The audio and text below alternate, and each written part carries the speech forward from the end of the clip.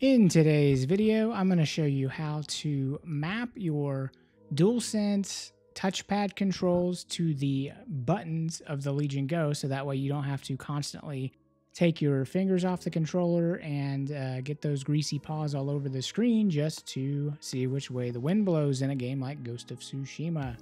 So first thing we're going to do is open up Legion Space and head on over to the button mapping section where we're going to click on the View Edit Layout and from there, we're going to switch over to the back side of the controllers. And you can see here we have the bottom button on the left side marked as control. And on the right side, we have the button on the right side marked as B. And then the button on the left side marked as U.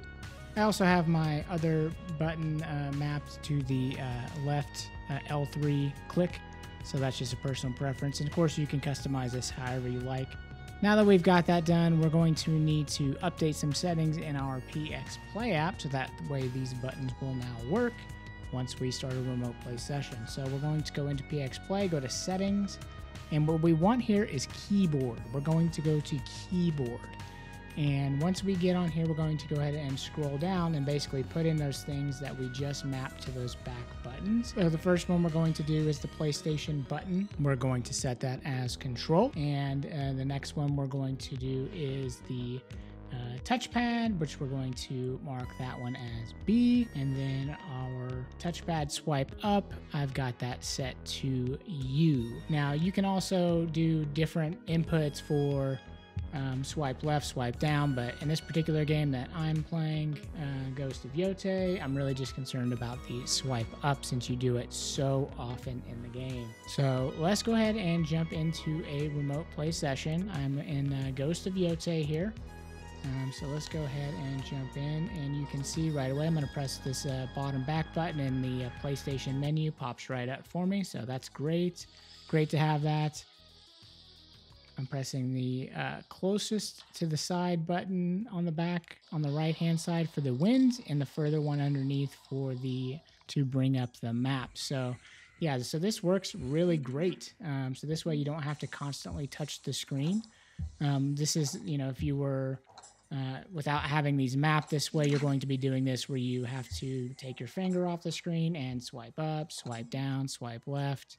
And if you're like me, I just really don't like getting my fingers all over the screen, getting fingerprints on everything. Um, I really can't stand that. So it's really nice to have all the extra buttons on the Legion Go to be able to map them. Um, let's go ahead and pull the controller off so you can just actually just see it in action. I'm going to press this button here. Boom, there's the PlayStation button on, off. Perfect, works great. Um, same thing on the other side. Um, we've got the button for the wind there, and I double clicked it so it jumped into the map. Um, but if you just want the single press button map, there you go, that one. And then the wind is going to be uh, the the one closest to the edge here. So you just press that, boom. That's basically just doing your swipe up on the touchpad. So it's just really nice. It's nice to be able to play PlayStation Remote Play and not have to um, get fingerprints all over the screen, and you still have be able to have like quick access to your friends list, stuff like that with the PlayStation button. So um, this is just a really great way to kind of customize your PlayStation Remote Play experience on the Legion Go. So that way it's uh, maybe even better than playing on the PlayStation Portal, with the exception of the uh, haptics, I would say. So yeah, everything is uh, working great here. So um, hey, if these kind of videos help you guys out, uh, please uh, drop a like, uh, leave me a comment down below, subscribe.